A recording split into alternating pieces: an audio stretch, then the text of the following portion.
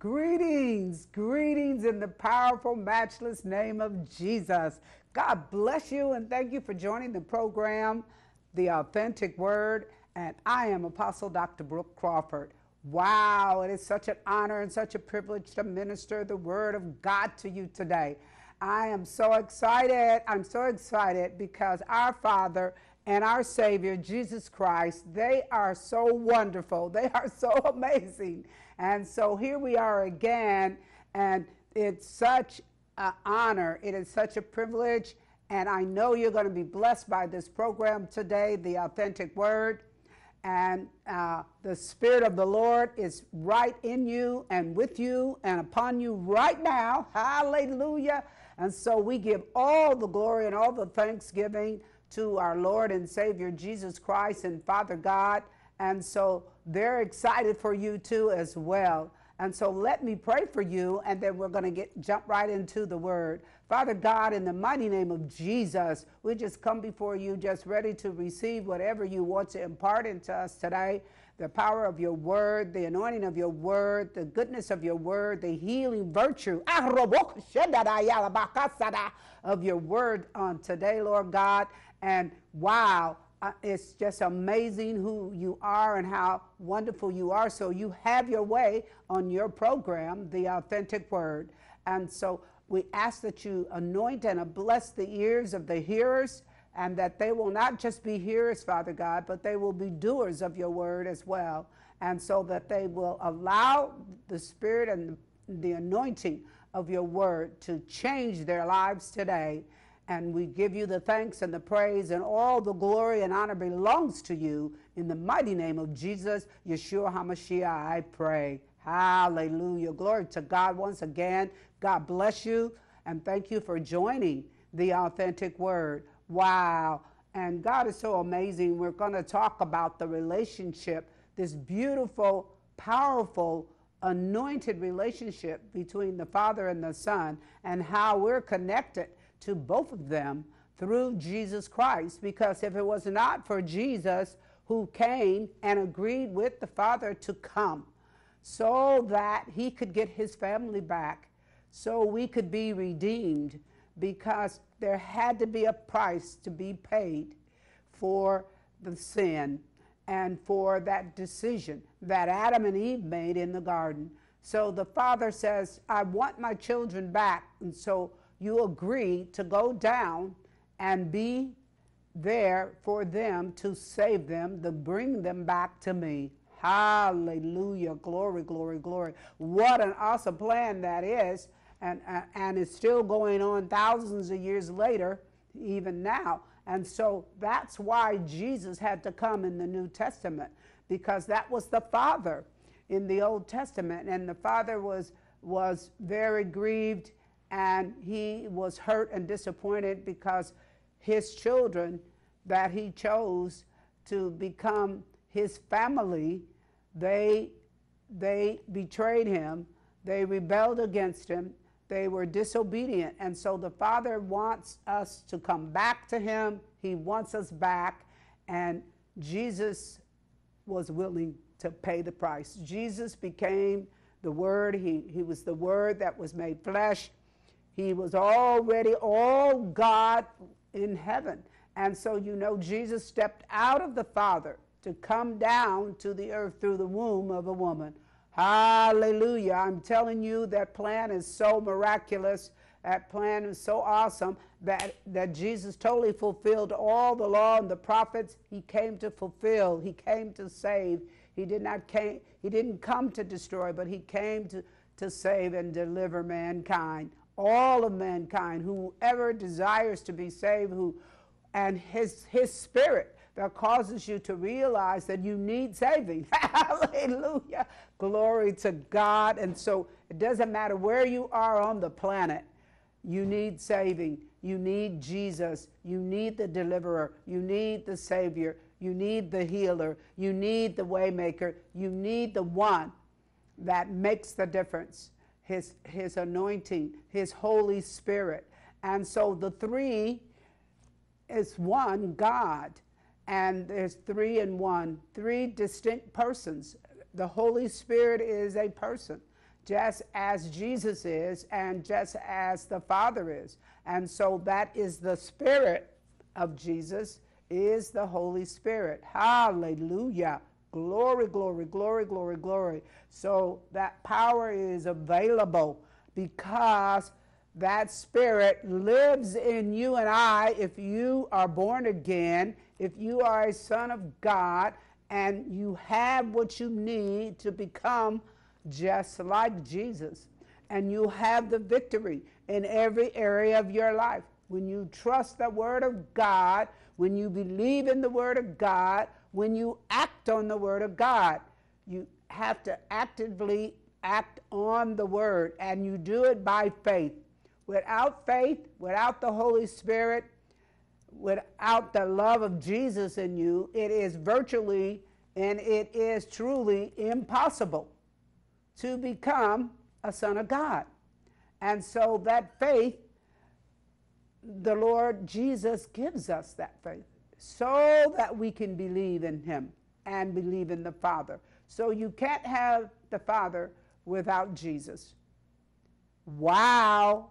Now, I know I've said that many times before on programs before, but I'm telling you how serious this relationship is between the Father and the Son and them working together to make our lives the way that He desired it to be, the way that we desire it to be, full of abundance, full of health, divine health, full of all that we need, wealth and prosperity to, to with no end to it, just blessings without an end to it. And so now let's go to uh, the book of First John. First John, and let's look at chapter 4. And in First John chapter 4, here the Father is saying that without his Son, uh, we wouldn't have a Savior for this world. And so the Father sent Jesus to become our Savior. And that's why the Father wants us to honor and, and honor His Son.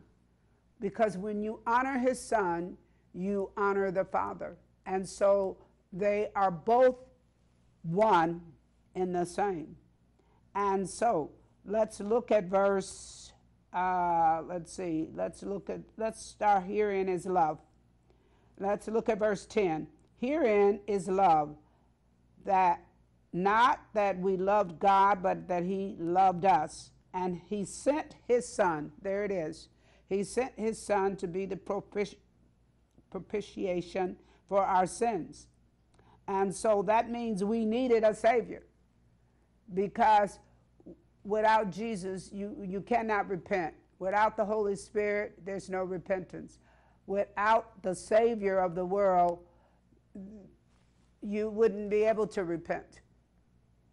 And so we have to ask the Father to forgive us and wash us and cleanse us by the blood of the Lamb, which is his Son, the Son of God. So that's why Jesus shedded his blood, because that's the Father's blood. Yeah!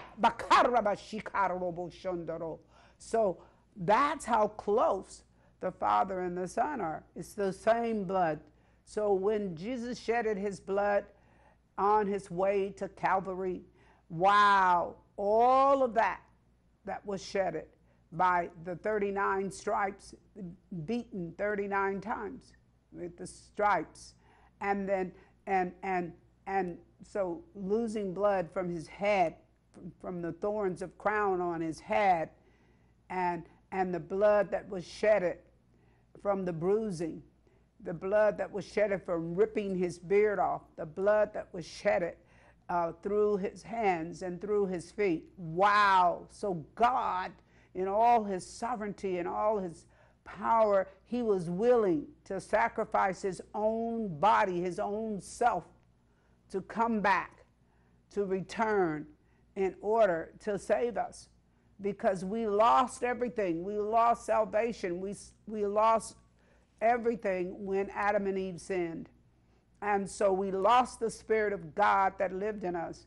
Wow, that loving, kind, long suffering, patient Spirit of the Holy Ghost They were made out of that beautiful spirit substance. Wow, the Holy Spirit. And so, God, what happened was when they made that decision, when Adam made the decision, because he could have disagreed with Eve and said, No, no, I'm not going to eat that fruit. Nothing's going to happen now. I cover you. Uh, our decision has changed. And so I will not eat that fruit with you. So he could have done that. But no, he agreed because that is what he desired in his heart. And so, you know, that's what God looks at. God looks at what is in our heart. What is our attitude in our heart toward him? And do we trust him? Do we believe in him? And so that's what matters to him that we believe him and that we trust in his word. Hallelujah. Praise the Lord. And so, and we're going to jump down. We're going to jump down now. So he said, and that he, so he came to pay that price. And so, and if we love one another, he says, God dwells in us and his love is, is perfect in us. So that's how we become perfect, is through the love of Jesus. And we can only receive that love when we make that confession of our sins and ask Him to wash and cleanse us with His blood. And we are forgiven because we ask for it. And so we are saved because of the confession that we made with our mouth. And He just wants that confession to be genuine and sincere with all of your heart, all your mind, all your soul, and all your strength because it, it, it takes complete surrender to the will of God. And so, if you want Jesus to come live on the inside of you, you will make that confession today that Jesus, I ask you to cleanse me and wash me, Father God, and make me your son or your daughter and come and live on the inside of me. And so you've got power living on the inside of you because of that power that you received, and you received the Spirit of God, eh, yeah, to come live back inside of you, because that was all taken away during that decision. So decisions are important, decisions are powerful. So meditate and think on the right decision. The Holy Spirit will give you the wisdom that you need for the right decision. And so that decision is to believe that the Father sent the Son to be the Savior of the world. And let's look at that in verse 14. And he says, And we have seen and do testify that the Father, hallelujah, sent the Son to be the Savior of the world. So anybody who questions that, all they have to do is look in the Word and you'll see it there already written for you. And so you believe that Word. And everything that comes out of Jesus' mouth is the truth.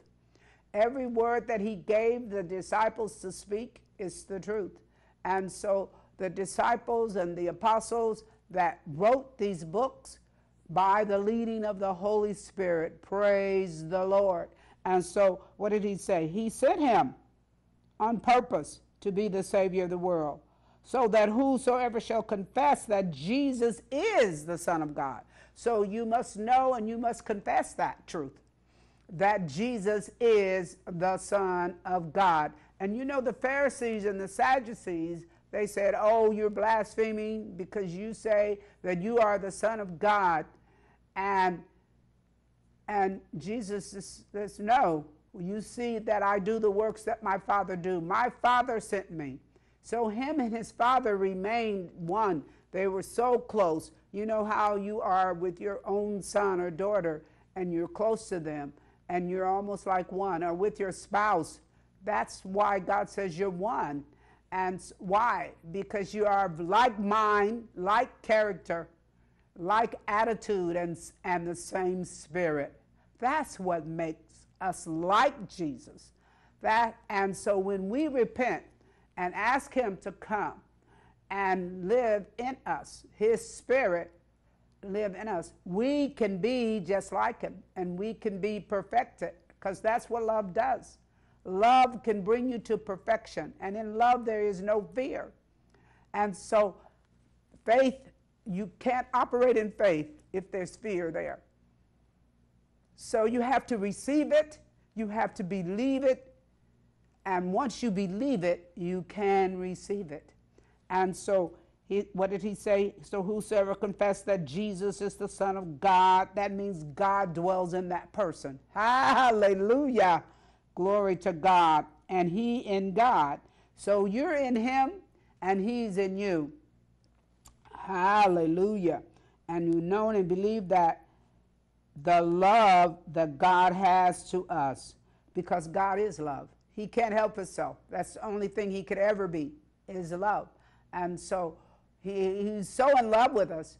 He had a way, he had a plan to get us all back. Now, this is the Father, because the Father sent the Son. And so the Father is greater than the Son. And so the Son said, The Father and I are one. And now I'm going to show you that scripture too in just a minute. And so, because of that, uh, there, there can't be any imperfection in love because there is no fear in love, and perfect love casts out all fear because fear is torment. Wow. Now I'm in verse 18. And he that fears is not made perfect in love. So if you're in fear, you just need to grow in your love. Your love in the Holy Spirit, because it's in there, and so it needs to grow. It needs to mature. Now, let me show you this in John chapter, let me show you this in John chapter 10. Let's go to John 10. Praise the Lord. Hallelujah.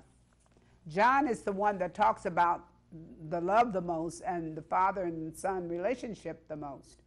And so that's why John could write these books the way that he did. Uh, in John chapter 10, and let's look at verse uh, verse 29. John 10 29. And in John 10 29, that's exactly what it says. Uh, he's talking about how Jesus was talking about how he was rejected by the Jews uh, because he said he was the Son of God, and they didn't believe him. And so they said he was blaspheming. But, but Jesus told them, just believe me for the work's sake. So Jesus answered, look at verse 25. Jesus answered them, and I told you, and you believe not. The works that I do in my Father's name. See, he does this in the name of the Father, just like we do what we're supposed to do in the name of the Father. And you heard me pray in, in the name of the Father. And so he said, uh, uh, and prayed to the Father. Hallelujah. And the works that I do in his name, and that I bear witness of me. So, but you believe not because you're not of my sheep. So those, those are those who accept him, accept Jesus and received him. They're going to believe what Jesus say. And Jesus say, when you believe what he say and do what he say, you will prosper. You will be healed. You will be delivered. You'll be set free. But not just because of that, but because you confess him because you trust in him and you trust in his word. Hallelujah. And so it's not anything that we do that gets us into the kingdom of God. It's all what Jesus did. And that's why we get to uh, get this gift of eternal life, of eternal salvation. Because the Father said, I give you this life and you give it to them because you paid the price with my blood Hey, yeah, hallelujah, that was shedded. And you were beaten and bruised uh, so that they could receive redemption. Hallelujah. And so, and he said, My sheep know my voice, they follow me, and so forth and so on. And then look at verse 29. He said, My Father, which gave them me, is greater than all. He's saying, Every person, every son and daughter, no matter their age, no matter where they come from, no matter who they are, that, that get born again, it's his father that gave us to him. Hey, yeah, hallelujah.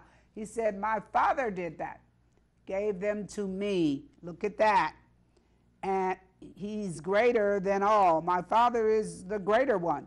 And no one is able to pluck them out of my father's hands. Don't you know nobody can take you away from the Father? Hallelujah. When you have accepted his son and the price he paid for your life to get you back in relationship with the Father. Hallelujah.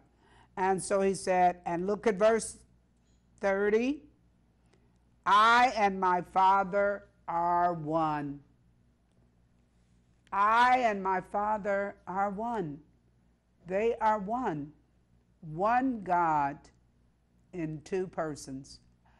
And don't forget the Holy Spirit, the third person of the Godhead. Hallelujah. So that is awesome. And now let's jump down to, uh, let's see, let's go to verse uh, let's go to verse 35. And if he called them gods unto whom the word of God came, the scripture cannot be broken. Say you of him who the Father has sanctified and sent into the world. So he's saying again, he's telling them, Look, my Father sent me here through the womb of a woman to testify to you who the Father is and what I came for. Eh,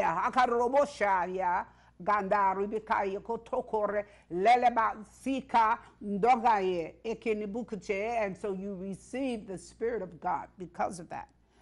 And so he said, and you say I'm blaspheming because I say I am the son of God. If I do not the works of my Father, believe me not. But because I do do the works, you should believe me for the very work's sake. So you may know and believe that the Father is in me and I in him.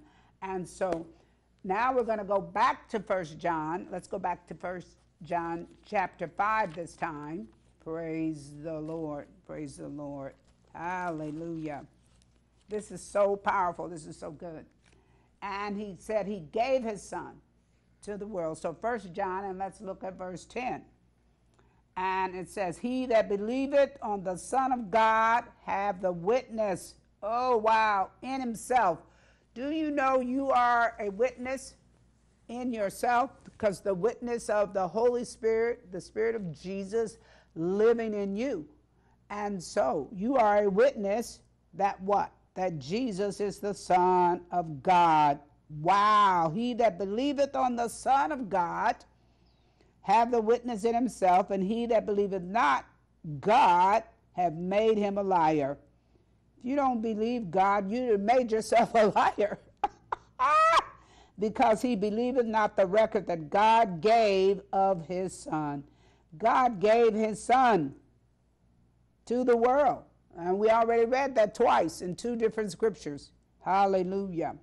And this is the record that God has given to us eternal life, and this life is in His Son. You cannot have eternal life without Jesus living on the inside of you and accepting Jesus as your Savior, as the Son of God. Now let's read it again. Verse 11 that God has given us eternal life. How? And this life is in his Son. Wow. So he that has the Son has life. Ah, wow, that's amazingly wonderful. That is a miracle.